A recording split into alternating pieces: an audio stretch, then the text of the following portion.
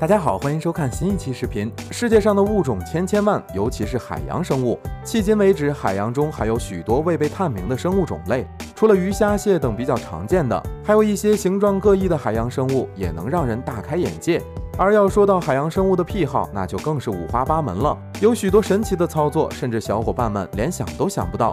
比如说今天要介绍的这种，发起狠来连自己都不放过，还会若无其事的吃掉自己的脑袋。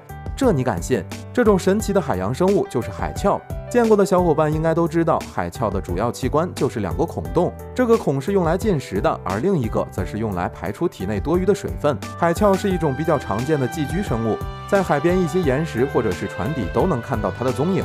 而海鞘这种生物的习性很奇怪，只要一找到合适的安家之处，就会立刻把自己的脑袋吃掉。这举动实在让人无法理解，但其实换个角度想想，它们寄生在一个地方，通常是一待一辈子，估计长着脑子也没多大用处，而身体其他部分也会依照本能进行活动。但有不少网友好奇，这些没脑子又宅的生物是怎么繁衍至今的呢？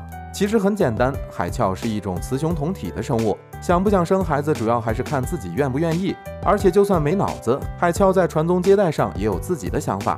所以，即使繁殖能力很强，也懂得如何计划生育。好了，今天的内容就到这里啦！喜欢的小伙伴记得关注、转发、评论、点赞哦。